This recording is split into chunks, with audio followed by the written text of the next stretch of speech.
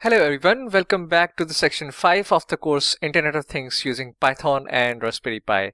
This is the first video of section 5 Secure HTTPS IoT Server and User Login where we will be securing our newly created custom domain with SSL TLS Let's Encrypt certificates. So moving forward, the first step which we will take to secure our website is to use Let's Encrypt Certification Authority.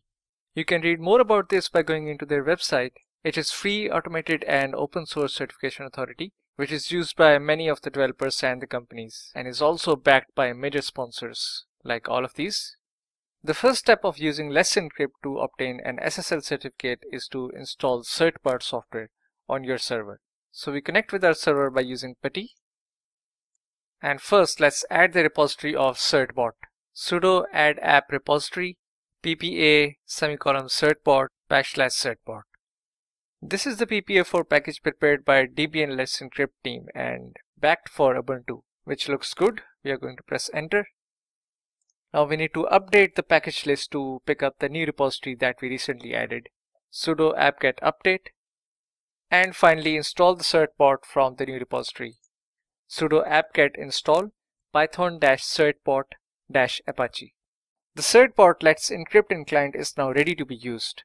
Now we need to set up our SSL certificate for Apache using the certbot Let's Encrypt client. For that we are going to run sudo certbot dash dash apache dash d and the name of our domain. We also need to add the www domain as well. You will be asked to provide an email just in case if you lost the key and this email will be used for the recovery. So you can provide in your email address, agree. For this I am not willing to share my email address so I will say no. So here we are asked whether we want to redirect our HTTP traffic to HTTPS. Definitely we do want that. So we'll type in 2, enter. So looks like the installation has finished. So we should be able to find our generated certificate files at etc let's encrypt live. Now we can also verify the status of our SSL certificate by going into the SSL labs.com slash SSL test. Here we will provide our DNS name Oh, so looks like the assessment has failed, unable to connect to the server. Oh, I think I know the reason. That's because we haven't assigned inbound security rules for HTTPS in our remote server from AWS.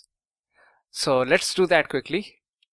EC2 instance launch wizard 2 inbounds. Here you can see we only have HTTP and SSH. So we are going to edit this, add rule HTTPS, save. The default port for HTTPS is 443. So now if we try to refresh this, this takes a bit time to complete so we're gonna wait for a while. So looks all good. We have got the details of our SSL certificate which is specifically signed for our own server, Packt IoT server with an issuing authority as Let's Encrypt and it is valid from today till almost three months. As you know, this is a free certification authority, so it expires every three months, so you have to renew after it expires.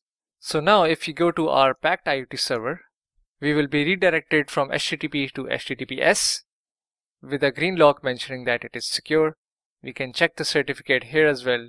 Issued to Packt IoT server, issued by Let's Encrypt Authority, and the validation dates which looks quite perfect. So I guess we have fully secured our website. Now every client connected with this server will have an end-to-end -end encrypted communication.